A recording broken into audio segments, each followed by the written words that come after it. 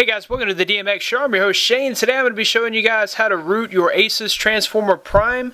It is a very simple process. This should take us no longer than five minutes. Uh, so what you want to do first is head to the link in the description that will bring you to this page. Uh, from there you want to go, uh, you'll scroll all the way down to where it says download. And if you have Windows, you will click here. Uh, that'll take maybe five minutes or less to download. Uh, when you're finished, you'll end up with a zip file. Unzip that to your desktop. And what you're looking for is, uh, let me see if I can get a close up there, the Viper Mod Primetime.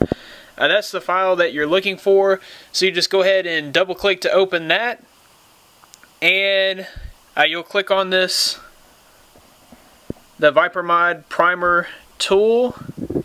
Uh, so just double click to open that. Okay, so once that's opened, we'll go to our Transformer Prime. And let's see here, what you'll want to do is turn that on. Go ahead and uh, head to the settings. So you'll just head to settings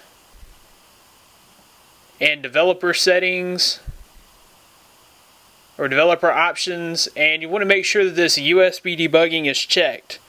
So once that's checked you will go ahead and I just plug that into your your computer and the first time that you plug that into the computer it should go ahead and install your USB drivers. If it does not install the USB drivers uh, then you'll have to do that from the tool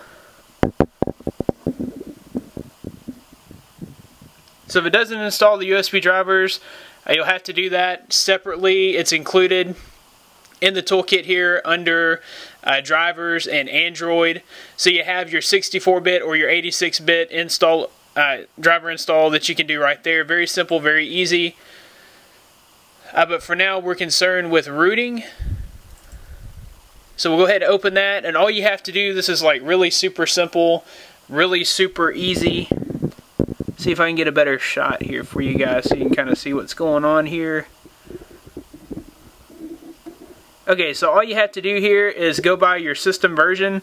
The latest update that happened not too long ago, a couple nights ago, uh, you would select number one and just hit enter.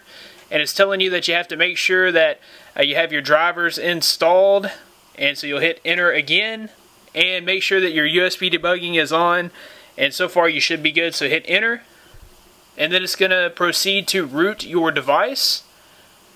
This does not take very long at all. And it's exploiting and installing BusyBox. Cleaning up, and now it's rebooting the device. So once it's fully rebooted, it should be rooted. And I'm going to back out and show you guys on the actual device that we are rooted. So an easy way to check for your root is to go into the market and install an application called Root Check. A root checker is free and it'll tell you whether or not you have root, which I know that we do. I've already done this. You can also unroot by selecting option 4 and that will unroot you. So you can easily root or unroot with a Viper mod prime time. Okay, so we'll go and open up root checker and verify root access.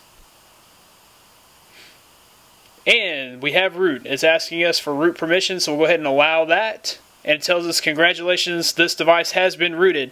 So, uh, head on over to droidmodderx.com for all the latest in uh, news, ROMs, mods, and hacks for your Android device. Also, I'm going to be putting out some videos on how to uh, unlock the bootloader and install Clockwork Mod Recovery. Also how to do backups and restores of your stock ROM. And I'll show you guys how to install custom ROMs as they come out for this device. So be sure to subscribe to the channel. You can follow me on Twitter at DroidModderX with an E not a 3.